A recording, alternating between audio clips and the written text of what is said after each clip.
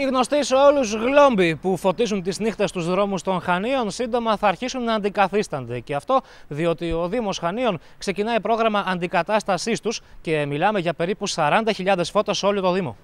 Ο φωτισμός των δρόμων μας αποτελεί στη συντριπτική του πλειοψηφία ε, αποτελείται από λαμπτήρες παλαιάς τεχνολογίας που έχουν υψηλή κατανάλωση ρεύματος, άρα και πολύ υψηλό κόστος για το Δήμο και τους Δημότες. Σήμερα παρουσιάζουμε την έναρξη της συνεργασίας του Δήμου μας με την Ευρωπαϊκή Τράπεζα Ανασυγκρότησης και Ανάπτυξης για την αποκατάσταση του οδοφωτισμού σε όλο το Δήμο Χανίων με λαμπτήρες τεχνολογίας LED. Ενός έργου που υπολογίζεται στα 10 εκατομμύρια ευρώ με το οποίο θα επιτύχουμε την εξοικονόμηση ε, ποσού το οποίο θα ξεπεράσει τις 700.000 ευρώ ετησίως. Τελικό αποτέλεσμα αναμένεται να είναι περίπου όπως αυτό το οποίο βλέπουμε στην οδό Νεάρχου στα Χανιά, όπου έχουν τοποθετηθεί πιλωτικά φώτα LED στους δρόμους. Η εξοικονόμηση αναμένεται να επέλθει και από το γεγονός ότι είναι πιο φωτεινά και έτσι μπορεί σε κάποιες περιοχές να χρειαστούν και λιγότερα φώτα από αυτά που υπήρχαν πριν. Ο Δήμος διαθέτει αυτή τη στιγμή περίπου 38 με 40.000 λαμπτήρες ε, φωτισμού ε, οι λαμπτήρες αυτοί δεν είναι μόνο σε δρόμους, είναι και σε ανοιχτούς δημόσιους χώρους. Το έργο αυτό, όπως σας είπαμε, αφορά κατά κύριο λόγο οδοφωτισμό. Ε, η μελέτη λοιπόν θα μας δείξει πόσες λάμπες έχουμε, τι τεχνικά ζητήματα θα προκύψουν και πώς θα γίνει ουσιαστικά η αντικατάσταση και η δουλειά από εδώ και πέρα. Η, η προθεσμία λήγει την Τρίτη.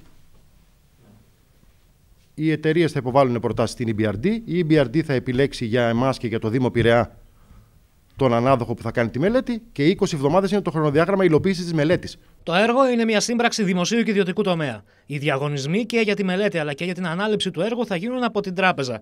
Προς το παρόν όμως δεν είναι σαφές πότε θα ξεκινήσει το έργο. Με εγκύτερη πιθανή ημερομηνία κατά προσέγγιση τα μέσα του 2018.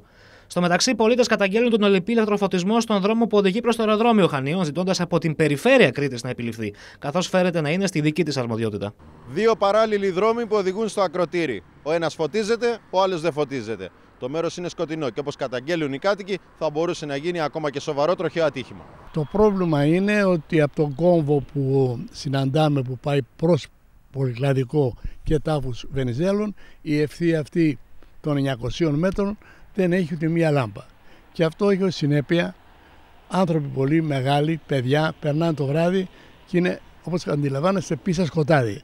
Αυτό δεν είναι ωραίο όταν το ακροτήρι είναι φωταγωγημένο, αν προχωρήσετε προς το Πολυτεχνείο, αν πάτε την Αριστοτέλους, θα φτάσετε μέχρι το Πιθάρι και τα φώτα είναι πάμπολα. Μπορούσαν να φροντίσει η περιφέρεια, διότι ανήκει στην περιφέρεια, να βάλει ένα, έστω πέντε λάμπες, που να μπορεί ο κόσμος να περνάει. Αυτό είναι το αίτημα των κατοίκων και παρακαλούμε θερμός όπως το υλοποιήσει η περιφέρεια. Γενικά πιστεύω ότι σε όλους τους δρόμους θα έπρεπε να υπάρχει φως.